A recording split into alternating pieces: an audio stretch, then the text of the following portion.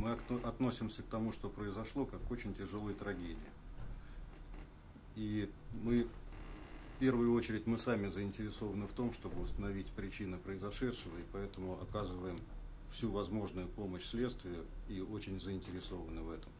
Так как среди посетителей было очень много наших постоянных гостей, и в первую очередь мы сейчас обеспокоены их состоянием, тех, кто находится в больнице, в том числе и наши сотрудники.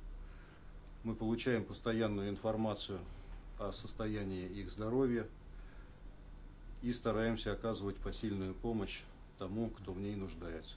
Насколько нам известно, часть пострадавших отправлена в Москву, и сейчас решается вопрос о помощи тяжелым пострадавшим, которым необходимо лечение в Германии.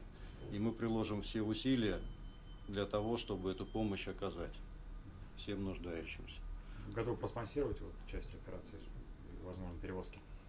Мы очень благодарны всем коллегам и представителям бизнес-сообщества в Волгограде, которые участвуют в этой помощи для того, чтобы оказать людям посильную поддержку. Вот здесь...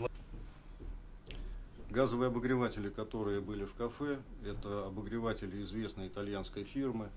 Я многократно сам находился в ресторанах, кафе и магазинах, где такие обогреватели работали, как в Москве, так и за границей. Они имеют сертификаты Росстандарта и европейского стандарта.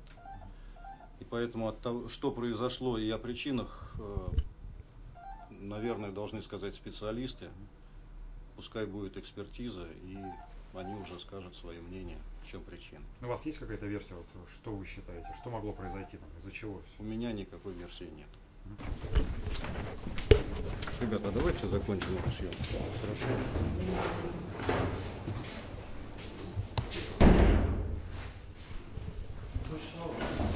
Ну, ведро убрать.